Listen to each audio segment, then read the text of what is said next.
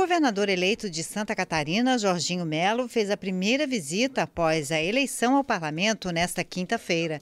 Ele foi recebido pelo presidente da Assembleia Legislativa, deputado Moacir Sopelsa. No encontro, foi reforçada a importância do bom relacionamento entre os poderes.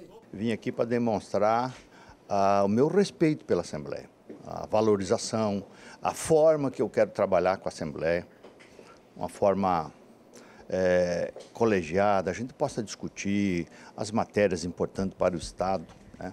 Eu acho que isso a gente consegue evoluir, ter mais fluidez naquilo que a gente vai encaminhar para cá.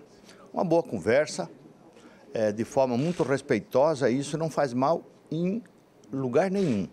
Então é um dos poderes mais importantes e eu fiz questão absoluta de mesmo antes da posse vir aqui visitar, transmitir, eu disse aos líderes, todos os, os deputados que aqui estão, e especialmente ao presidente Sopelso, que é um querido amigo de muito tempo, da minha, do meu desejo de que a gente caminhe junto para que, porque Santa Catarina tem pressa, nós temos pressa, e a Assembleia será um braço forte, será um grande incentivo, incentivador é, e, e dará condições de a gente fazer um grande governo.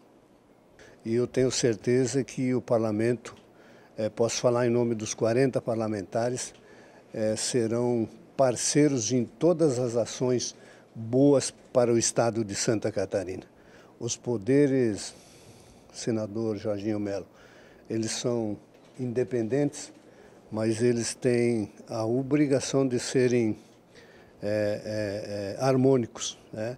E, e, e essa casa pode contribuir muito com o governo. E eu tenho certeza que o senhor fará é, um bom governo pelo seu conhecimento, pela sua experiência.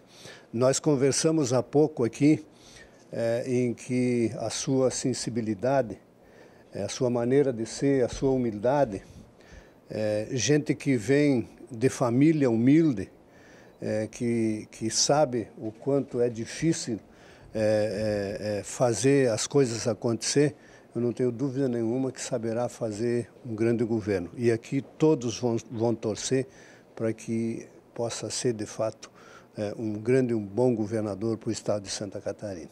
É um prazer recebê-lo aqui e desejar que Deus lhe abençoe. Eu sei que o senhor é um devoto da Nossa Senhora Aparecida, ela vai estar sempre viva.